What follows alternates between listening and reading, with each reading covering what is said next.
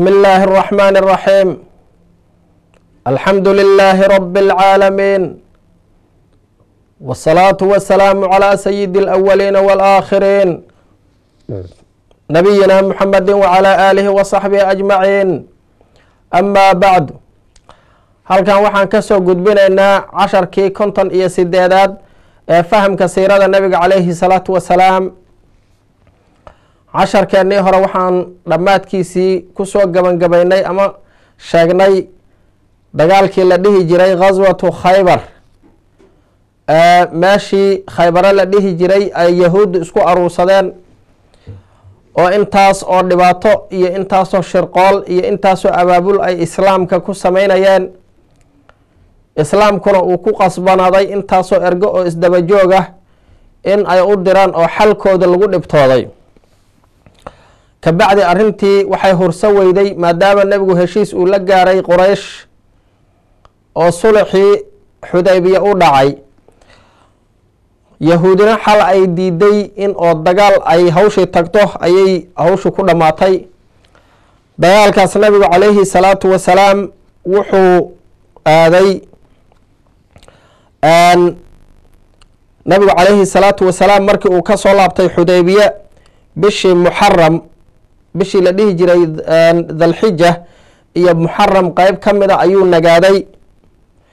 Kabacdi nabigu calayhi salaatu wasalaam muxaram dhammaadkeedii macnaha qeybteedii dambe ayuu khaybaro u baxay oo aaday.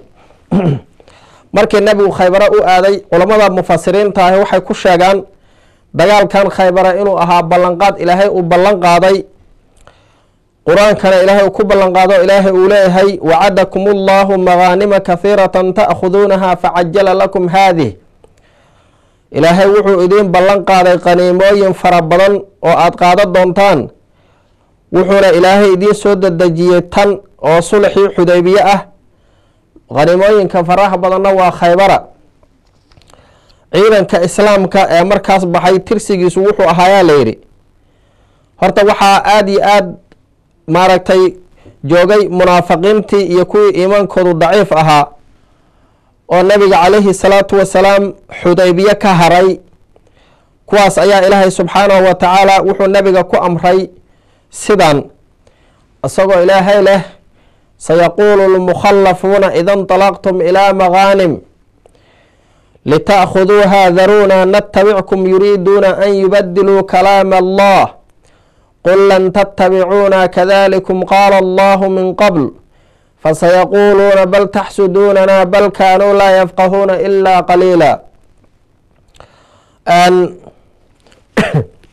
markii munaafiqiin badan iyo kuwo kaloo iimaankoodu daciif yihiin ay nabiga ka hareen qaswadii xudaybiya ee nabigu markii hore uu baxay inuu cumraysto ayaa ilaahay wuxuu yidhi dadkaas kaa haray oo mukhallafiinta ahaa waxay dhihi doonaan markaad aadaysiin khaniimo oo aada xoolo inaad soo heshay soo heshaan aada aadaysiin sida khaswada khaybara. Ayaan idin raaci doonaa yacni khaniimadaas aada soo qaadanaysaan aan idin raaci doonaa hadda naga leexda. Daruuna natabickum naga leexda hadda. Macnaha waan idin raacaynahay dhihi doonaan. Ilaahay wuxuu leeyay waxay rabaan inay bedelaan ilaahay kalaamkiisiiyo oo waxa weeye ballanqaadkii ilaahay khaniimadaas khaybare uu ballan qaaday yuuna u ballan qaaday reer xudaybiye kaliya. Nebiga dadkii raacay xudaybiya kaliyaa ilaahay u ballan qaaday waxaa ku tidhaahdaa nebi allow nama raacaysaan. Sidaas ayaa ilaahay hore u yiri inta aana soo laabana ilaahay saas hore u yiri dheh.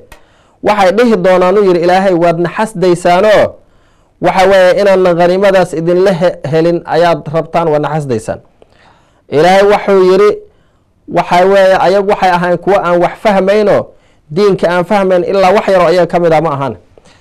Marka nabigu calayhi salaatu wasalaam markii uu doonay inuu baxo khaybaro aado ayuu wuxuu dadka ogeysiiyey anlaa yakhruja macahu ilaa raaqibun fi ljihaad inuusan nabiga raacin qof aan jihaad rabin qof jihaad kaliya jecel ee aan adduunyo kala danka lahayn kaliya ay raaci kara u yiri waxaa raacay marka nabiga calayhi salaatu wasalaam asxaabu shajara raggii geedii hoosteeda nabiga kula mubaayacooday oo kun iyo afar boqol ah markii laga celiyey nabiga calayhi salaatu wasalaam cumradii ee xudaybiye meesheedii sulci ka dhacay laqad radiya allaahu can ilmu'miniina id yubaayicuunaka taxta shajara. Ilaahay muuminiinta ayuu ka raalli noqday markii ay cahdiga axdiga iyo ballanta kula galayeen geedi hoosteeda kuwaas ayaa raacay nabiga caleyhi salaatu wasalaam. Madiinana nebigu wuxuu madax uga dhigo amiir uga sii dhigay asxaabigii la dhihi jiray sibaac binu curfudata alkhifaari kabacdi nabigu caleyhi salaatu wasalaam markii uu baxay ayaa waxaa yimid magaalada madiina abi hureyra asxaabigii la dhihi jiray isagoo markaa soo islaamay. Waa sanadii toddobaad. Wuxuu la kulmay sibaaca binu curfuda oo magaaladii madiina madax ka ah ayuu salaadii subax la kulmay. Markuu salaadii ka soo jeestayna sibaaco ayuu u tegay sahay ayuuna siiyey iyo wuxuu sahay u qaato ilaa uu rasuulka caleyhi salaatu wasalaam uu u tegey oo khaybaro uga daba tegay nabigu caleyhi salaatu wasalaam muslimiinta ayuuna la hadlay iyo asxaabtiisii abi hureyre inay la wadaajiyaan sahmisiintii iyo wixii ay heleen. Munaafiqiinta ayaa marka waxay sameeyeen markii nabigu u baxay caleyhi salaatu wasalaam oo khaybaro u aaday ayay waxay dabadhilifnimad iyo waxay bilaabeen inay basaasaan islaamka inay jaasuusaan oo ay warka ka sii hormariyaan. Munaafiqiinta ra'iiskii munaafiqiinta cabdullaahi binu ubay binu salool ayaa yahuud fariin u diray oo wuxuu yihi moxamed ninka leeraa wuu idin soo aaday xaggiina u soo jihaystay ee digtoonaada. Hana ka cabsanina tiradiina iyo tayadiina ka badan. Moxamed iyo waxa u wataana waa koox yaruu yiri oo gacna maranoo hub wadan hub yar ayay wataanu yiri ha cabsanina markii oo ree bani qurayda ree ahlu khaybara yahuuddii khaybara warkaas soo gaaray ayaa waxay direen ninkii la dhihi jiray kinana ibnu abilxuqeyq iyo hawda binu qays ayay u direen. Labadaas nin ay soo direen oo waxay u direen qabiilkii la dhihi jiray khatafaan ayagoo gurmad ka dalbaya iyo taakulo. Maxaa yeelay isbahaysi ayay lahaayeen waana markastana waxay isu kaasho jireen muslimiinta dhibkooda. Marka ree khatafaan ayaa waxay ku shardiyeen haddii aan guuleysano muslimiinta ka adkaano in timirta khaybaro aad kala barna sii doontaan. Kabacdi nabigu caleyhi salaatu wasalaam waa uu socday isagoo khaybaro u socdo meel dhexa ayuu degay nabigu caleyhi salaatu wasalaam. Markii uu meeshii dhexe degay nabiga caleyhi salaatu wasalaam meeshaas asaga iyo reer bani khatafaan nimanka leerana waxay isu jireen habeen iyo maalin intii la isu socdo khatafaan ayaa soo diyaar garowday ayagoo khaybaro u socda si ay yahuudda gurmad u gaarsiiyaan. Meel dhexa markii ay marayaan ayay gadaashooda waxay ka maqleen qaylo iyo sawaxan. Markaas ayay waxay u maleeyeen in muslimiintu ay soo weerareen dadkoodii iyo guryihii ay ka soo tageen in muslimiintu soo weerareen iyo xoolahoodii. Markaas ayay ilaabteen waxayna yidhahdeen nabi maxamed iyo khaybaro waa iskaga dhex baxnay annagaaba khatar ku jirna. Ilaahay ayaa jabiyey kabacdi nabigu wuxuu yeeray caleyhi salaatu wasalaam laba nin oo asxaabtiisa oo daliileyn ahoo macnaha waddada tusinaya. Daliil waa qofka waddada yaqaana. Labadooda mid wuxuu ahaa xusayl ninkii la dhihi jiray si waddada fiican uu u tusiyo. Wadada ugu dhow. Ninkaas waxa weeye waa uu socday ilaa macnaha nebigu wuxuu rabay inuu xagga waqooyiga ka soo galo maaragtay jihata sham oo dhanka waqooyi ah inuu khaybaro uga yimaado si uu maaragtay ayaga iyo u kala jaro waddada ay ku carari lahaayeen oo sham ay u carari lahaayeen.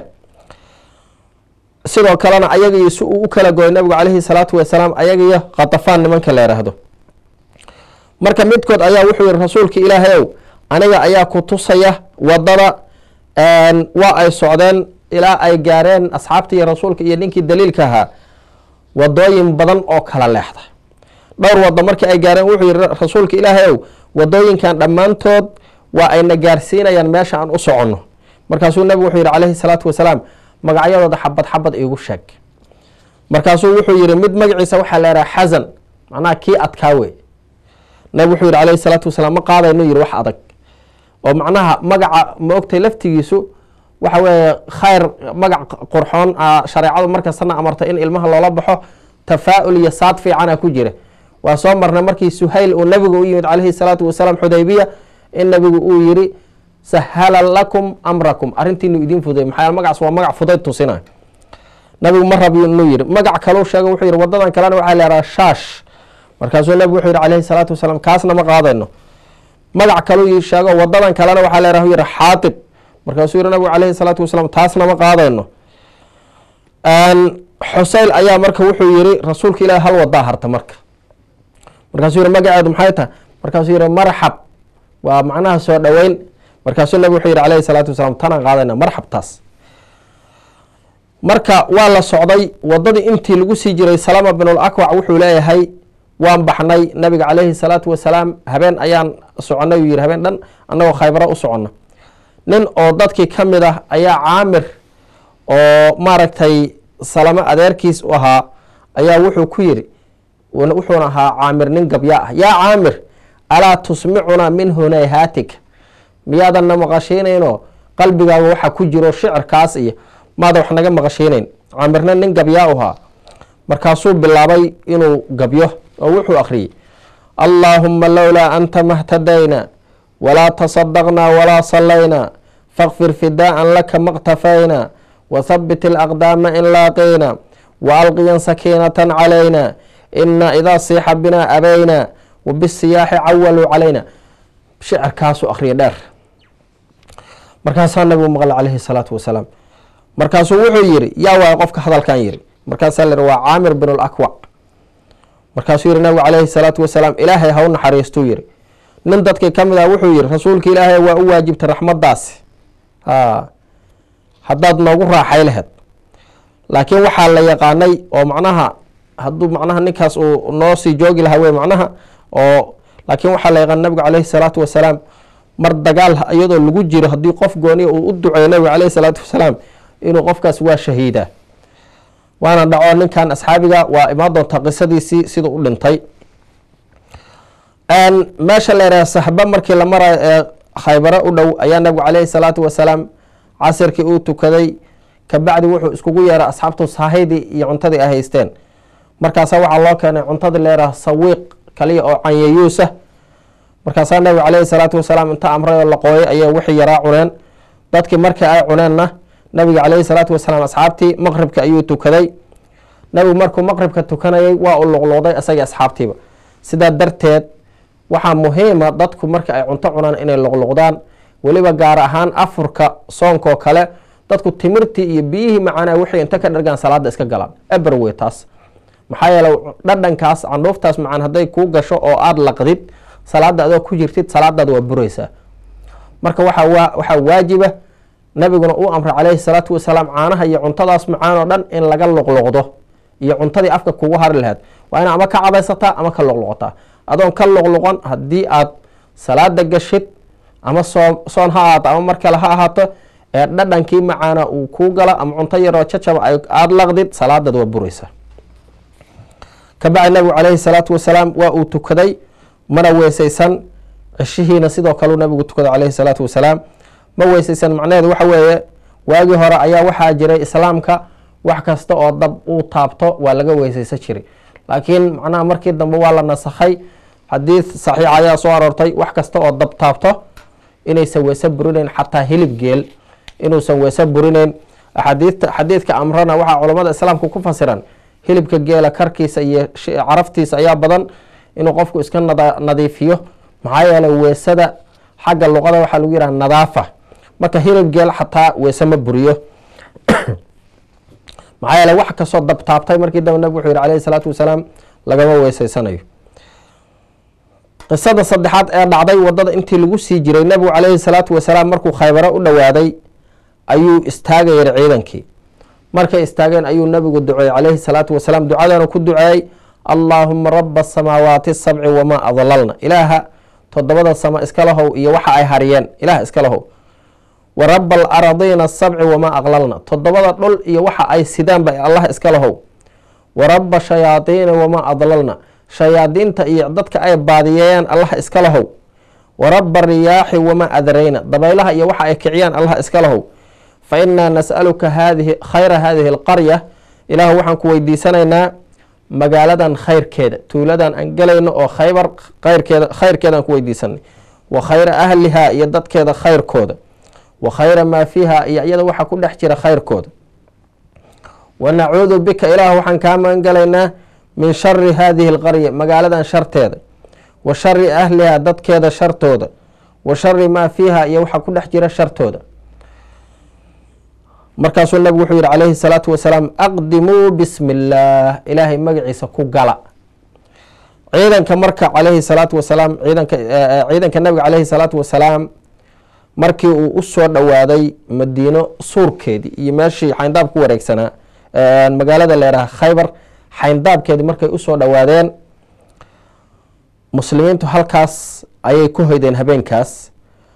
Subaxdaas ayaana maaragtay dagaalkuna uu bilowday ayagoo yahuudi aan dareemayn oo aan xaaladda aysa ogeyn. Marka nabiga caleyhi salaatu wasalaam dhaqankiisa waxaa ka mid ahaa haddii uu magaalo habeen yimaado uma soo dhowaa jirin oo dagaal kuma qaadi jirin ilaa uu waa bariisto. Markuu waagu baryo ayuu nabigu ale wuxuu dhegeysan jiray bal in aadaan ka yeera iyo midna. Nabiga caleyhi salaatu wasalaam markii uu salaadii subax waqti hore tukaday waqtigii soo gashay uu tukaday ka hor lama ogolee ayaa islaamkii isdiyaariyeen oo ciidankii militarigii ay fardahoodii waxoodii ka markaasaa dadkii reebaadiyihii khaybara ay soo baxeen ayagoo beerahoodii wuxuu u socdo dambiilahooda iyo badeeladooda iyo waxooda socda ay waxba ogeyn. Markay soo baxeen oo beerahoodii soo aadeen ayay waxaa arkeen ciidankii rasuulka caleyhi salaatu wasalaam. Markaas ayay dib u careereen waxay yidhahan muxamadun wallah wallaahi muxamadun walkhamiis war allah ayaan ku dhaaranay waa muxamed iyo ciidankiisii yidhaaheen markaasay magaaladooda u carareen. Markaasaa nabigu wuxuu arkay caleyhi salaatu wasalaam markuu arko wuxuu yihi allahu akbar kharibat khaybar. Allahu akbar kharibat khaybar. Inaa idaa nazalnaa bisaaxati qowmin fasaaa sabaaxu lmundariin wuxuu yihi nabigu caleyhi salaatu wasalaam ilaahayaa weyn khaybar waa ay kharaawday ilaahayaa weyn khaybar waa ay kharaabtay annagu haddii aan qolo banaankood ama ardaagood ama fagaagood soo degno waxaa xumaaday dadkaas loo digay ama kuwa digayba oo mundiriinta ah waa berigooda ayaa xumaado. Dad loo soo galay wey dadkaas. Intaan gelin marka dagaalkii siduu u dhacay waxaa jiray dhufaysyo waaweyn oo khaybar ay lahayd. Magaalada khaybar dhufaysyo ad adag ayaa yahuuddu ka samaysatay maadaama ay shar u taagnaayeen weligood si aan loogu soo gelin ayay dhufaysyo xoog la samaysteen. Dhufaysyadeeda waxay u qeybsameen labo. Mid wuxuu ahaa meel waxay ahayn shan dhufays oo xisnu naacim dhufays leeraa iyo xisnu sacb bin mucaad dhufays leeraa iyo xisnu qalcati zubayr dhufays leeraahdo iyo xisnu ubayi dhufays leeraa iyo xisnu nizaar dhufays leeraa xisni waa dhufays. Magaca kalena waa magaca dal lagu magacaabay saddexdaas hore waxa weeye waxay ku yaaleen goob leeraahdo nitaah labada kalena waxay ku yaaleen meel leeraahda shaqi. Qeybta labaad marka dhufaysyadaas kuwa ugu waaweyn oo halista ah oo dagaalka ugu talagaleen ahayd oo aan la mari karin. Qeybta labaad waxa weeye katiibah ayaa loo yaqaanay saddex dhufays ayaa ku taalay oo leeraahdo xisnu lqamuus iyo xisnu lwatiix iyo xisnu sulaalim. Saddexdaa dhufays ayay ahayn khaybaro sidoo kale dhufaysyo kale iyo qalcooyin waaweyn oo saldhigyo waaweyn oo kaleo military ayay lahayd laakiin waxaasoo dhan kuwaan ma gaarayn kuwaana waxay ahayn kuwa ugu khatarsan. Dagaalkii nabiga caleyhi salaatu wasalaam iyo ayaga dhex marana tan ugu horeyduu maaragtay wixii badnaa ay ka dhaceen waxa kale tan dambe badanaa inay isdhiibeen ayaa raajix ah. Dhufaysyadan dambe markii la isla soo galay ee shantii hor laga soo furtay waa ay isdhiibeen marka ciidanka islaamka nabiga caleyhi salaatu wasalaam markii uu khaybaro soo galay meel ayuu degay nabigu caleyhi salaatu wasalaam. Meeshii markii uu degay waxaa nabiga u yimid xubaab binulmundir asxaabigii la dhihi jiray radia allahu canhu. Markaas ayaa wuxuu yihi yaa rasuul allah ara-ayta hada almanzil? Anzalakahu llah am huwa ara'yu fi lxarb rasuulka ilaahi meeshaan aan degnay ka waran uu yihi ma ilaahayaa ku dejiyey? Mase waa yani ra'yi militariyo aan hadda qaab dagaal taatikaden aan u degna miya. Markaasuu nabig wuxuu yihi alayhi salaatu wasalaam maya qaab dagaal wey maahan ilaahay ima amrin. Markaasuu wuxuu yihi rasuulka ilaahay ow ina hada almanzil qariibun jiddan min xisni natah meeshan aan degana horta dhufayskaas natah meesha leeraa dhufaysyadeeda ayuu u dhow yahay kow. Iyo ciidankii khaybaro oo yahuudi o dhana u dhowna waana og yihiin axwaasheenay ogaanayaan annaguna axwaashooda ma ogin. Kow waa mid. Maadaama aan soo kor degnay ayagoon dhufays ay ku jiraan horta waana og yihiin. Annaguna waxba kama ogin waa mid. Midda kale warmahoodu waana soo gaarayaan teenuna ma gaarayso. Warmaheenuna ma gaarayaan waa labo. Waxaan kaloona ka aamin ahayn inayna soo miraan oo ayna soo weeraraan. Midda kale meeshan wuxuu yidhi waa meel oo geetimirku ku badan yahay waa meel nul ku dhagri karo halis ah. Waa meel sidoo kale cuduriyo aan ka qaadi karno meel jiq ah weeye rasuulka ilaahayow meel kale oo waxaan dhibaatooyinkan oo dhan ka maran haddaadna gey laheed oo aada ciidanka daji laheed oo isku aruuri laheed waa fiicnaa laheed markaasuu nabigu yihi calayhi salaatu wasalaam alra'yu maa asharta taladu waa waxa aada soo jeedisay yiri markaasuu meel kale nabigu u wareeg nabigu hadda ma dhihin maanoo nabiga ilaahay ila hadlaysaa iyo anoo waxa weeye saasa. Maya nabigu calayhi salaatu wasalaam asxaabtiisu la tasha jiray iskalamana weynaan fikirkooda iyo taladooda intaas ka bacdi dagaalkii ayaa loo diyaar garoobay nabiguna wuxuu ugu bishaaray calayhi salaatu wasalaam fatxi iyo furasho. Waxaa dhacay marka habeenka dagaal meesha ay soo galeen asxaabtu waxaa dhacay dhowr isku day iyo xoogaa dagaalo yaryar ayaa dhacay. Nabigu calayhi salaatu wasalaam habeenkaas wuxuu yidhi la ucطiyana raayah hada rajulan yuxibu allaha wa rasuulah wa yuxibuhu allahu wa rasuuluh wuxuu yihi nabigu calayhi salaatu wasalaam beri calanka waxaan u dhiibi doonaa nin ilaahay iyo rasuulkiisa jecel ilaahay iyo rasuulkiisuna jecel yihiin ayaan beri calanka u dhiibi doonaa oo yaftaxu allahu calaa yadeey ilaahay gacnihiisa uu ku furi doono khaybara markii waagi baryey ayaa beri subaxdii ay beri noqotay ayaa la isu yimid nin kastoo asxaabiga isagoo raba calanka inuu qaado si uu u noqdo ninka ilaahay iyo rasuulkiisu jecel yihiin isaguna ilahay rasuulkiisa jecel ee nabiga uu bishaareey ilaa rag isdheereen sayid cumar iyo maalinka wuxuu yihi meel dheer ayaan fuula si rasuulku ii arko. Waa halka maalinoo madaxnimo tawaliyu yihi sayidana cumar radiallahu canhu.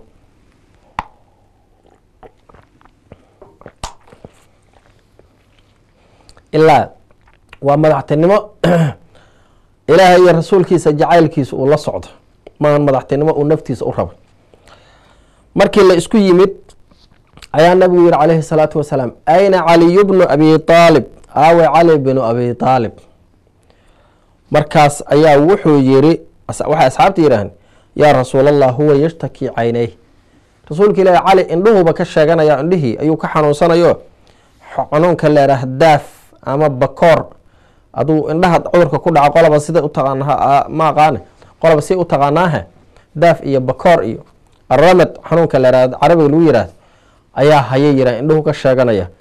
Markaasuu nabigu calayhi salaatu wasalaam uu yiri igu dira farin waa la keenay markaasuu nabigu calayhi salaatu wasalaam indhaha uga candhuuf tufay candhuufta nebi maxamed qof uu ku tufay nabigu hadduu candhuuftiisa qof ku tufo hadduu qof gacantiisa mariyo kulli daawo waxaa dhakhtarkii ayuu ahaa. Waa imisaan soo marnay intaasoo qofoo jabtoo saas gacantiisa uu mariyey kam abra'ad wasiban bilamsi raaxatuhu wa aطlaqad ariban min ribqati lamam sala allahu calayhi wasalam candhuufu nabigu indhaha uga tufay fog waaba raystaba. Nabigu waana u duceeyey waa uu raystay sidii weligiis inaa xanuun ku dhicin u noqday. Markaasuu nabigu calayhi salaatu wasalaam calankii gacanta u saaray. Markii nabigu gacanta calanka u geliyey hadda waa inuu nabiga la tashada calayhi salaatu wasalaam iskama ordayo wuxuu yihi yaa rasuul allah uqaatiluhum xataa yakunuu milana rasuulka ilah miyaan la dagaalamaa ilaa annagoo kale ay noqdaano si saxa ay u islaamaan. Markaasuu nabig wuxuu yihi calayhi salaatu wasalaam xasiloonidaada u soco ilaa aada degtid banaankooda kow. Ka bacdina islaamka ugu yeeru yihi nabigu calayhi salaatu wasalaam waxaana u sheegtaa waxa lagu leeyahay oo ilaahay xaqiisa ah. Maxaa yeelay? Nabigu hadda ma dhihin ku bilow baabi iyo laah qarxe nabigu ma dhihin hore kama dhihin. Horta xaqa u sheeg. Sabab fawallah laan yahdiya allaahu bika rajula waaxida khayrun laka min an yakuna lak khayrun laka min an yakuuna laka xumru nacam. In ilaahay kugu soo hanuuniyo hal qof aa ka khayr badan in aada heshid geeli gudgududnaa ee carabtu aada waqtigaas u jeclaayeen oo dhan inaad heshid. Hal qof ilahay kugu soo hanuuniya kaaga khayr badan hadhow aakhiro aada ajar ka helaysaa. Waa xadiid saxiixulbukhaariy marka marka hore iimaanka ugu yeeriyo islaamka waxa lagu leeyahana u sheeg hadday diidaan dagaalku markaas ka bacdi wey maanta daba aragnaa dad aan waxba diintii islaamka aqoona islaamkii suurad xun iyo fooxolxumo ka bixiyey oo qarax oon bogta ku haya meel kasta kii in lala dagaalama la mudnaa gaalkii in lala dagaalamo ay ahayd.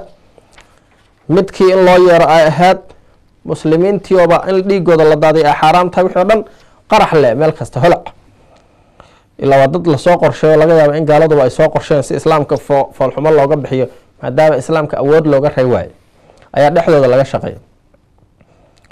Kabacdi waxaa bilowday dagaalkiyaa bilowday. Dhufaysyada waa nagii soo sheegnay shanta dhufays oo hore meesha la yiraahdo nataah saddex ay ku taale meesha kalena shaqi yaraha ku taale saddex.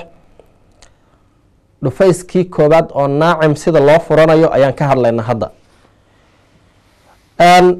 markii ay arkeen yahuuddu muslimiintii markii ay arkeen ayay magaaladooda u carareen dhufaysyadoodii galeen dagaalayna u diyaar garoobeen. Dhufayska ugu horreeya ee muslimiintu weerareen wuxuu ahaa oo sideed dhufays ka mid ah dhufayska leera xisnu naacim uu ahaa. Waana midka oo difaaca koobaad ay yahuuddu ka samaysan jireen maxaa yeele meel istraatiijiya ayuu ku yaalay wuxuuna ahaa dhufays uu leeyahy ninkii la dhihi jiray marxab oo geesigii yahuudda ahaa oo khatarta ahaa oo nin kun u dhigmo ahaa markii sayd cali radiallahu canhu uu ciidankii islaamka la soo baxo hogaamin asagoo hogaaminaya ee uu dhufayskan soo weeraray sayd cali oo uu yahuudi islaamka ugu yeeray ay islaamkii diideen ayaa waxay waxay dalbadeen muslimiinta ayay maaragtay u soo baxeenba dagaal ayagoo boqorkoodii marxab uu la socdo. Markii banaankii fagaarihii dagaalka la iskugu soo baxay ayaa ninka la yihahdaa marxab wuxuu yihi yaa iisoo bixi kara. Marxabaa yihi aniga horta hogaamihii sooma qof ha iisoo baxo. Markaas wuxuu leeyahay sayidana salama bin lakwac markii uu yihi hala ii soo baxo oo seeftiisa soo siibtay ayuu gabayna ku dara marxab. Markaasuu wuxuu yihi calimad khaybaru anii marxabu shaaki silaaxi batalun mujarabu ida alxuruubu aqbalat talhabu. Talahabu. Wuxuu yihi khaybar meesha leera waa ay taqaanaa anigu marxab ina ahay boqorka leeraha fan hubkiisu uu siiban yahay oo geesi la jirabay oo la yaqaan ah. Dagaalku marka uu soo qaabilo iyadoo holcaysa ninkaasa ahay yiri markaas ayaa waxaa u soo baxuu yiri aniga adeerkay oo caamir binul akwac oo ninkii gabaygii inta soo aqriyay rasuulka u duceynayay ee aan dhahaynay qof haddii nebigu dagaalka markii la galo u duceeyo waqtiga oo gaar ahaan magaciisa u sheegay inuu shahiidaaba dhici karto. Ninkaasa u soo baxay. Caamir binul akwac wuxuu yiri qad calimad khaybaru anii caamirun shaaki silaaxi batalun muqaamiru khaybar waxay ogaatay inaan anigu caamir la yidhaahdo hubkiisuna siiban yahay geesi oo isbiimeeyana aan ahay. Markaas ayay caamir oo saxaabiya iyo marxab ay isdhaafsadeen laba seefood. Seeftii oo marxab uu watay waxay ku dhacday gaashaankii uu watay caamir oo asxaabiya caamir marka wuxuu damcay inuu seeftiisa uu hoos uga dhifto jilibka. Jilibka marxab inuu uga dhifto ayuu damcay seeftiisii laakiin seeftiisii oo gaabneed awgeed meeshii uu u waday markuu ku dhifo tegay way gaari weyday way ku soo laabatay markaasaa seeftiisa afkeedii asaga jilibkiisi ku dhaca isaga isdilay waana uu u dhintay nabarkaas ayuu u dhintay allah ka raali noqdo. Markaas ayaa nabiga loo sheegay calayhi salaatu wasalaam.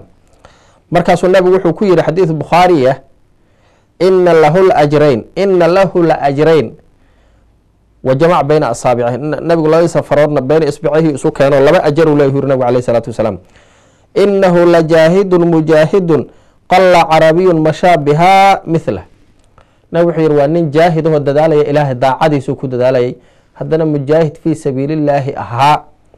Waxaana yaruu yihi qof carabiya inuu labadaasba helo xadiid bukhaari wey iyo muslim intaba. Marka caamir oo marxab u soo baxay sidaasuu ku dhintay marxab kabacdi mar kalu soo baxay. Isagoo gabyaa sidii calimad khaybaru bianii marxab ku haya ayuu soo baxay.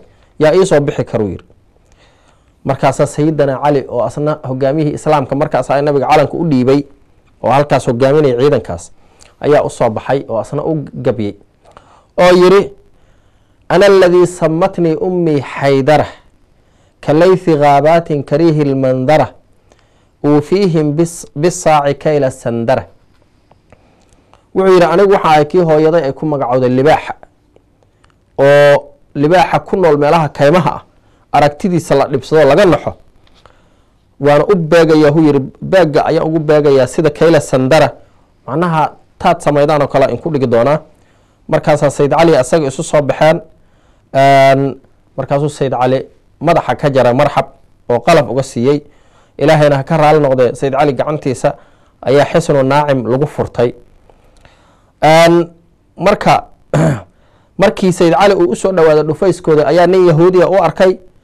Markaasuu wuxuu yihi man anta? Markaasuu yihi anigu cali binu abi aalib ah. Markaasuu yahuudi wuxuu yihi calowtum wamaa unzila calaa muusa. Waxaad ka saro marteen waad saro marteen wixii aad nabi ciise lagu soo dejiyey ee adinku aad waad saro marteen. Kabacdi waxaa soo baxay yaasir oo marxab walaalkiisa. Asagoo leh yaa ii soo baxaya. Markaasaa zubayr uu u soo baxa zubayr binu cawaam. Zubayr binu cawaamna waxaa dhala nabiga eedadii safiya bintu cabdilmualib markaasaa safiya waxay tiri rasuulka ilaahay wiilkeyga miyaa la dilayaa? Markaasuu nabi wuxuu yihi maya caleyhi salaatu wasalaam. Wuxuu yihi maya asagaa wax dilaya. Zubayr waa uu dilay marka yaasir oo marxab la dhashay. Dagaal culus ayaa meeshaas ka dhacay meeshii dhufayskii xisnu naacim la dhihi jiray oo waxa weye dhowr nin oo madaxdii yahuudda ay halkaas ku dhinteen ilaa maaragtay yahuuddu ay islaamka iska celi waayeen. Halkan dagaalkan maalmo badan ayuu socday oo muslimiintu meeshaas ay ku haysteen yahuuddii ilaa yahuuddu ay u adkeysa wayeen dagaalka islaamka. Kabacdina dhufayskaas xisnu naacim yahuuddu way ka baxeen. Laakiin waxay uga baxeen si tasallulaho dhudhuumashaho hoos hoos ayay uga baxeen. Maaragtay hal mar kamaysa gurguuran ilaa muslimiintu ay qabsadeen oo isku majiireen. Xisniga leeraa xisnu sacab binu mucaad ayaa noogu xigi doonaa insha allahu tacala casharkeena hadda waqtiga naga dhamaaday intaas ayaan ku soo gabagabayneynaa. Wasalaamu calaykum waraxmat ullaahi tacaala wabarakaatuh